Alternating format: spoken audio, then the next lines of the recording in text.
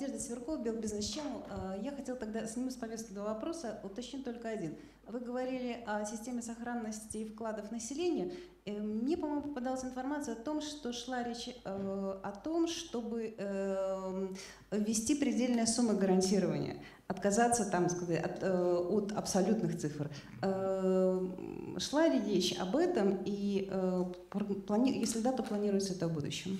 Нет, значит, э, э, международная практика э, свидетельствует о том, что э, более эффективно работают механизмы, когда, э, собственно говоря, риски разделяются между банковской системой, государством и непосредственно вкладчиком.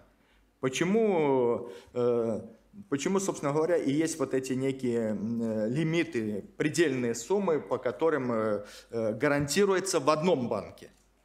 Вот. Мы всегда забываем, что э, когда есть некий предел, то это для одного банка, а- и эту сумму всегда нужно умножать, ну, как минимум, вот для нашей банковской системы там, на, на 24. Да?